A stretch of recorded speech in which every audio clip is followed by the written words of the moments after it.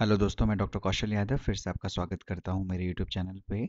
और आज हम सीखने वाले हैं ट्राइजेमिनल न्यूरैल्जिया जो कि इंपॉर्टेंट है for the university as well as for NEET M D S and ढेर सारे एम पूछे जाते हैं यहाँ से।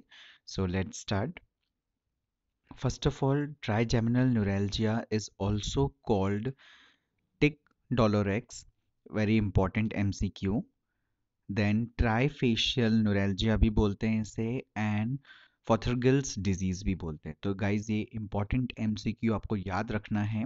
तो इसको टिक, डोलोरेक्स भी बोलते हैं, ट्राइफेशियल न्यूरेल्जिया भी बोलते हैं और फॉथरगिल्स डिज़ीज़ भी बोलते हैं। तो ये याद रखेंगे। It is mainly affects the second and the third division of trigeminal nerves हमें पता है trigeminal nerves is the fifth cranial nerve जिसके तीन ब्रांच होते हैं V one V two V three जिसमें से जो सेकेंड और थर्ड डिवीज़न होता है, वो ज़्यादा अफेक्टेड होता है, ये याद रखेंगे।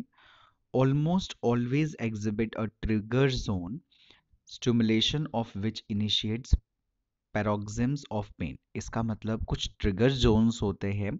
अगर उनको स्टिमुलेट करेंगे हम तो एकदम अचानक से पेन शुरू हो जाएगा इसमें ओके ये पॉइंट का मतलब ये है, याद रखेंगे।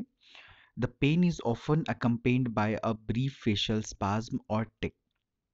ये पॉइंट भी याद रखेंगे पेन डिस्ट्रीब्यूशन इज़ यूनिलैटरल और last for a few seconds to few minutes तो इसका पेन एक तो one side of the face पे होगा यूनिलैटरली होगा, और इसका जो पेन होगा वो few seconds to few minutes तक रहेगा ज़्यादा देर तक नहीं रहता है बट अचानक से होता है इसमें ओके okay? तो आप ये देख सकते हैं, इसका जो सेकेंड ब्रांच है और जो थर्ड ब्रांच है ट्राइजेमिनल नर्व्स का तो वो ज़्यादा अफेक्टेड होता है। इट मीन्स जो ये रीजन है, ये ज़्यादा अफेक्टेड होगा। आप याद रखेंगे।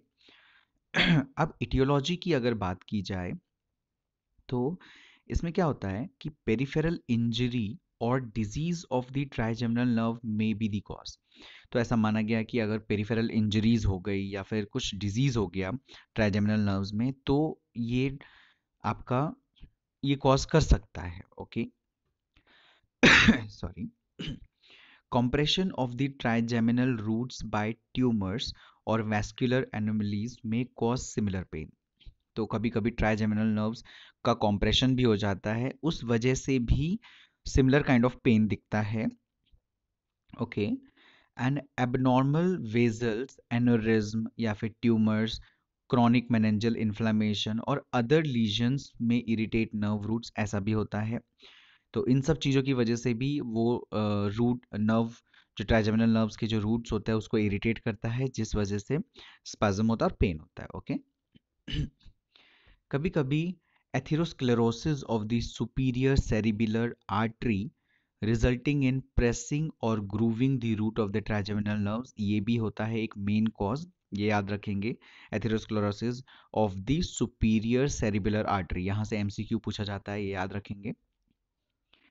Adjacent dental fillings compose of dissimilar metals may trigger the attack galvanism जिसे बोलते हैं, अगर डिसिमिलर मेटल्स होगा तो उसकी वजह से भी लाइक ट्रिगर फैक्टर ट्रिगर होता है और पेन स्टार्ट हो जाता है ओके अब क्लिनिकल फीचर्स की अगर बात करें तो this is the most common cranial neuralgia सबसे मोस्ट कॉमन है M C Q and affects person older than fifty years of age ये फिफ्टी ईयर्स के बाद ही यूजुअली होता है ये, और जिसमें females are more commonly affected than males three is to two ratio होता है, ये याद रखना है, ये भी एमसीक्यू पूछा जाता है। Right side of the face is affected more ऐसा माना गया है कि right side of the face affect होता है ज़्यादा as compare to left side ऐसा माना गया है बट नॉट यूजली अगर ऐसा होता है। Pain itself is of searing stabbing और लैंसिनेटिंग टाइप का पेन होगा इसमें which feel like electric shock जैसे इलेक्ट्रिक शॉक लगता है, वैसा टाइप का एकदम से पेन होगा इसमें। द टर्म टिक डॉलरेक्स इसका नाम टिक डॉलरेक्स इसलिए रखा गया है is properly applied only when the patient suffers from spasmodic contraction of the facial muscles. अगर स्पाजमोडिक कॉन्ट्रैक्शन होता है, तभी इसका नाम टिल टिक डॉलर एक्स रखा गया okay? Sorry. In the early stages of the disease, the pain is relatively mild. तो early stages में पेन बहुत ही कम रहेगा but as the attacks progress over a period of month और year they become more severe okay ये याद रखना है। और each attack of excruciating pain persist for only few seconds to several minutes तक रहेगा, उसके बाद अपने आप डिसअपेयर हो जाएगा ओके okay? कुछ मिनट तक या सेकेंड्स तक पेन रहता है, उसके बाद अपने आप चला जाता है। So as the attack occurs the patient may clutch his her face clenching करते हैं ताकि क्या होता है वो पेन सबसाइड हो जाए, ओके? ट्रिगर जोन्स जो इसमें होते हैं, वो होता है vermilion borders of the lip, very common the ala of the nose and cheeks and around the eyes. यहाँ क्यों हो रहा है ट्रिगर जोन? बिकॉज़ यहाँ पे ट्राइजेमिनल नर्व्स के डिविजन्स हो रहे हैं, ओके? पेरिफेरल नर्व्स जा रहे हैं। इस वजह से आप फिगर में देख सकते हैं। तो ये जो फिग ये जो डॉट्स डॉट्स आप देख रहे हैं, यहाँ पे ट्राइजेमिनल नर्व्स के जो ब्रांचेस हैं सेकेंड और थर्ड वो स्प्रेड हो रहे हैं। इसी वजह से ये, आप देख सकते हैं यहाँ पे अल्लाह ऑफ़ द नोज़ है आईब्रो के पास है चीक्स के पास है।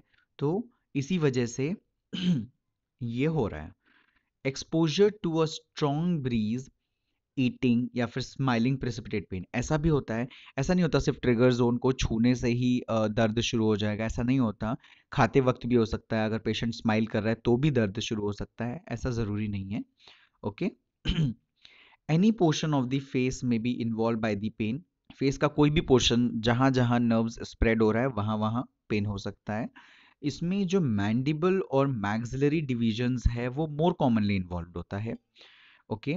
The disease is usually unilateral, okay मैंने पहले ही बताया था, डिज़ीज़ डिज़ीज़ जो है वो यूनिलैटरली होगा, ओके okay?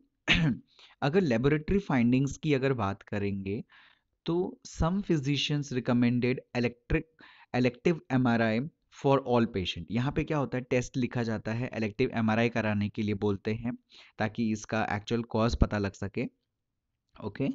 अब ट्रीटमेंट की अगर बात करें तो earliest form of treatment was peripheral neurectomy पहले क्या होता था कि पेरिफेरल न्यूरेक्टोमी मतलब न, उस नर्व्स को ही निकाल दिया जाता था okay complete removal of that nerves but आजकल क्या होता है कि द इंजेक्शन ऑफ़ एल्कोहल इधर into a peripheral nerve area और centrally into the Gasserian ganglion में डाला जाता है। ओके इंजेक्शन ऑफ़ एल्कोहल डाला जाता है, नर्व पेरिफेरल नर्व में डालते हैं या फिर डायरेक्टली गैसेरियन गैंग्लियन में डाला जाता है।